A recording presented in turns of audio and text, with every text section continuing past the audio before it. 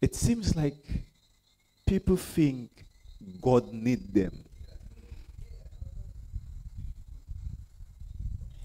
People, we treat God as though He need us. You know, we we anoint you know. Eh? God, remember I, I anointed. You need me. You need me. If it wasn't for me,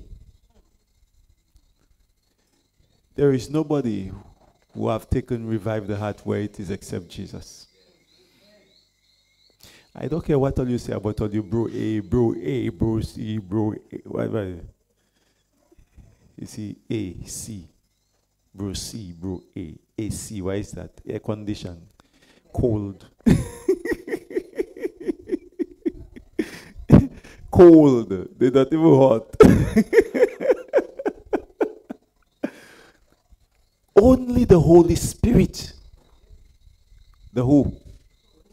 The Holy Spirit. Only the Holy Spirit. You, you, you get that?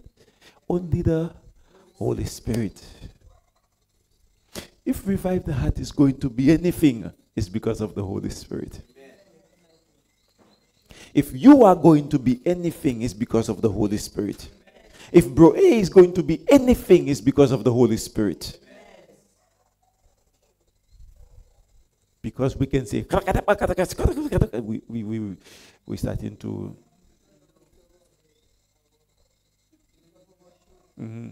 I, I am anointed. no, no, no, no, no, no, no, no, no. Ah, no. A little reminder for us. Humble yourselves, oh. Mm-hmm. Humble yourselves.